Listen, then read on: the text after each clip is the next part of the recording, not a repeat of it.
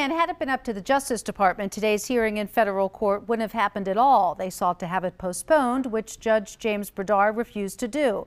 Plan B for the government, delay the signing of the agreement for at least 30 days.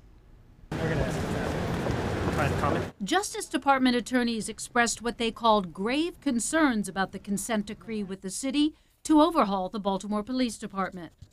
But about 50 residents at a public hearing expressed their own grave concerns if that decree is not enforced, fearing systemic racism, abuse, and deadly force at the hands of police. I'm embarrassed that I didn't realize how broken our policing system is. And and since then like I'm scared. I'm scared for my neighbors. I'm scared for myself. High school students wanted the court to hear of their negative encounters with police. My only crime that day was my skin color.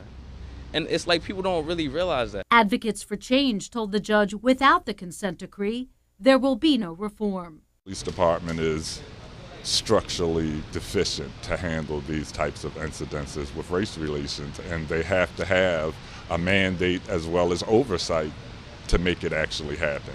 Attorney General Jeff Sessions ordered a review of all consent decrees, saying the federal government should not be managing local law enforcement agencies.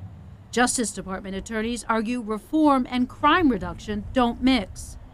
Baltimore's decree was negotiated in the waning days of the Obama administration, following a scathing Justice Department report citing unlawful and abusive practices. It's in the judge's hands right now, and the judge can rule whenever the judge determines it's appropriate. The NAACP Legal Defense Fund filed a motion today in federal court in an effort to ensure the consent decree is accepted by the court and fully implemented. Two years ago, it was that very group, along with clergy and others, who asked then President Obama to open a civil rights investigation into the Baltimore Police Department following the death of Freddie Gray. Live in the studio, Deborah Weiner, WBAL TV 11 News.